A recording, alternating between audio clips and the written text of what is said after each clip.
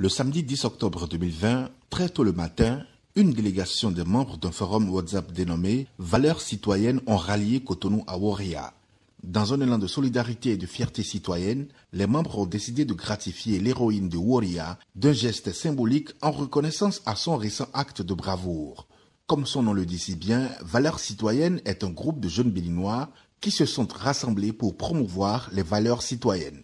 La délégation composée de quatre personnes et conduite par l'administrateur principal du forum, Romuald Akpovi, a rallié Tchaourou autour de 12 heures.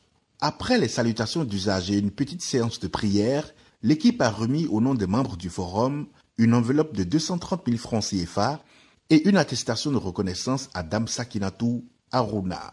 Nous, nous sommes un groupe de jeunes.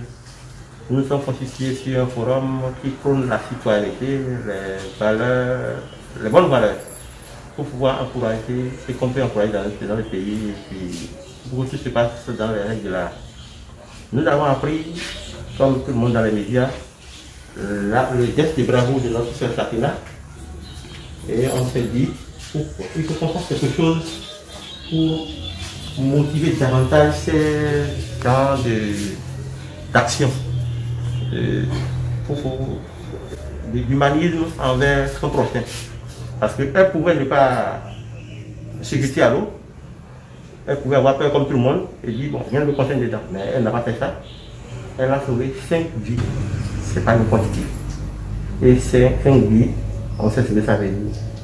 Donc nous nous sommes constitués pour dire, bon, en lançant une action de collecte, c'est une souscription volontaire.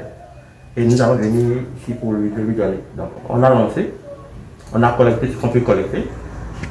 On, a, on est venu avec une enveloppe on a fait une euh, décoration, une attestation de reconnaissance que nous tenons à lui remettre.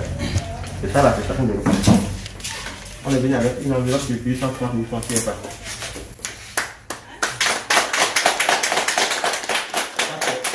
En retour, Sakinatu Aruna a remercié les membres du forum pour ce geste qui constitue pour elle un signe de sympathie et de reconnaissance.